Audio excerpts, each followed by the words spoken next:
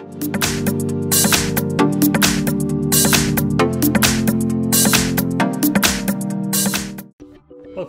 In front of me is a Nokia 7 and today I will show you how to bypass the Google verification screen. So as you can see the Nokia in front of me is actually locked and without the correct uh, Google account I, I cannot progress further with the setup. And I can even try to tap on next, I need to always fill it up. So to bypass it we're gonna need a SIM card, like this one, and it needs to have a pin. So if you have a SIM card laying around doesn't have a pin, just put it in a different, let's say, device and uh, go into the settings and add a pin to it and then you can progress with this. So once you have that ready all you need to do is just put it into the device. So I'm gonna put it in the tray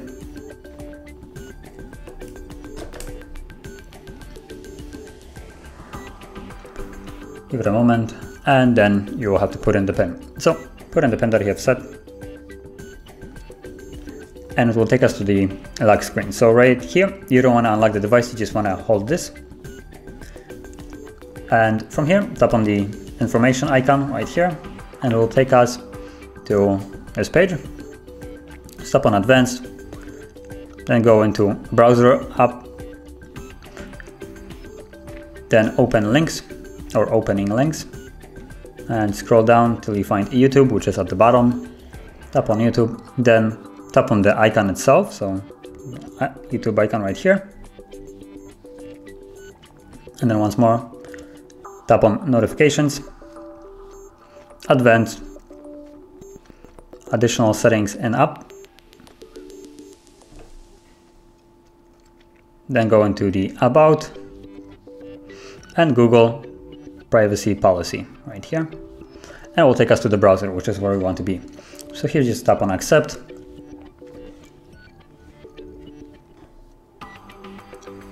and we don't want to sign in. So now in the search field, we're gonna go into the hard reset website. So type in hardreset.info.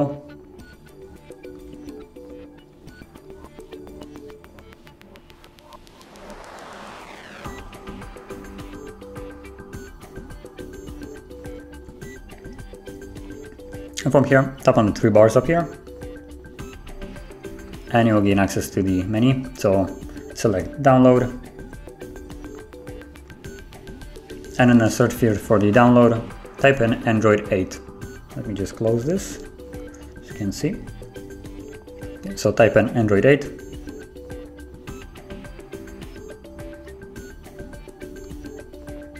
As you can see, and search for it. And you will see this, the FRP bypass, Android 8 tap on download up here. And scroll down a little lower and you will find another download. So click on it. It will now start to download so actually we need to enable it first. So allow for us to download and then tap on ok.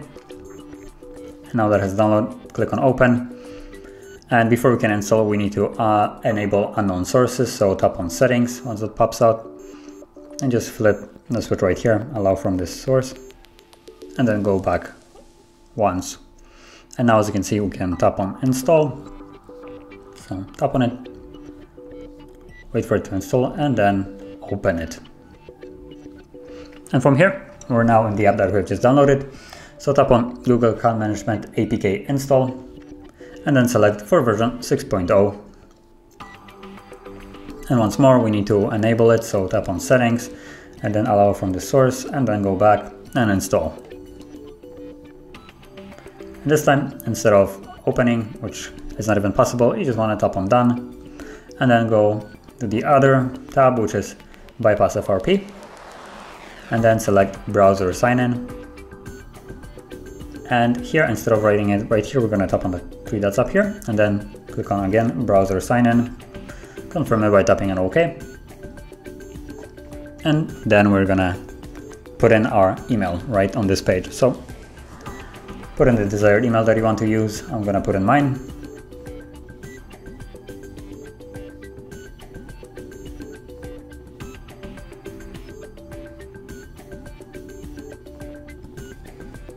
So, tap on next and then put in your password. So I'm gonna do that too on the screen.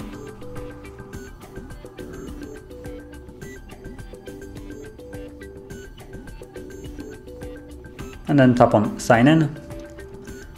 So we'll see this. And we're back to the FRP bypass app. So now basically it's finished. So all we need to do is reboot the device. So hold power key and select restart. And once it um, restarts and we're back in the setup screen, uh, we're just to want to go to the setup fairly quickly because we're to perform another hard reset of the device to remove any kind of leftovers from the previous account. So let's wait for the phone to boot back up.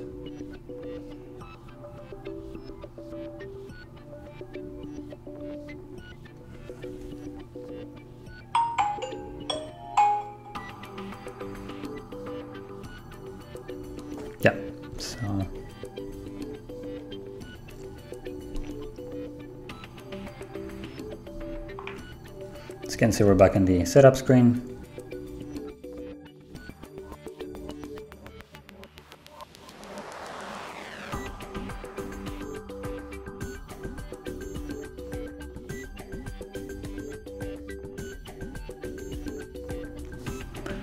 Okay, let's continue, don't copy. Next. As you can see, that was the account that we have put in.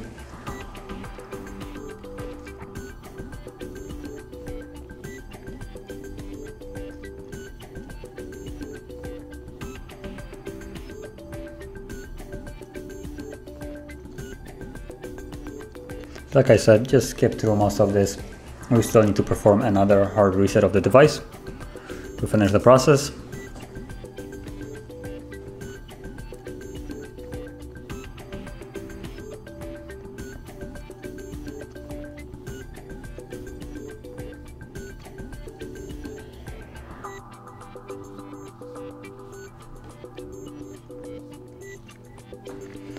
As you can see, we're now on the home screen.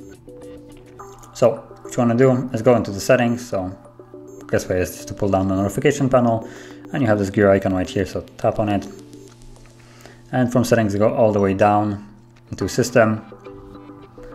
Then tap on advanced and select reset options and choose erase all data factory reset right here and then reset phone and erase everything. And now let's wait for the device to actually perform the reset and uh, once it's finished, we're gonna go to the setup process one more time, uh, the final time this time. So I'll be back once it's finished.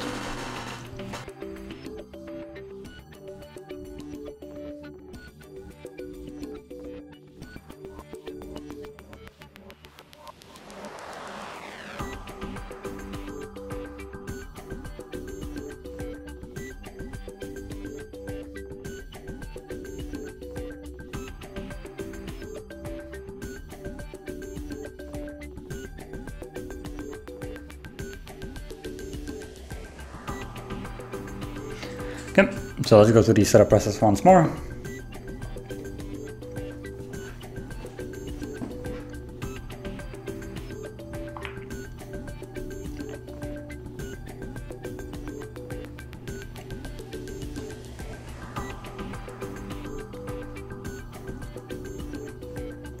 Now right now you can connect to network, you don't have to. I'm gonna choose to skip it, considering the fact that it, once I connect, it's gonna start looking for updates and stuff like that, and I want to shorten the video so it does, doesn't take so long. Now, if you would choose to connect to network, you would then also be able to log into the Google account with your own account. So you can set up basically the device as you like now, add security measures if you like, it doesn't really matter anymore. It's basically a fresh, a fresh phone, so set it up as you like.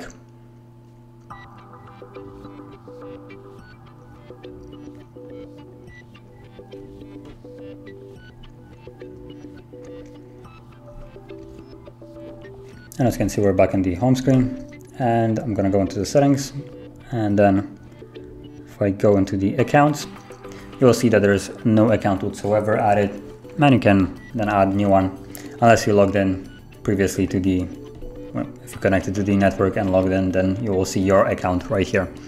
But considering last account or any kind of other one, everything is clean and the device is fully unlocked now. So that is basically how to bypass the Google verification screen on the Nokia 7 and if you found this video helpful, don't forget to hit like, subscribe and thanks for watching.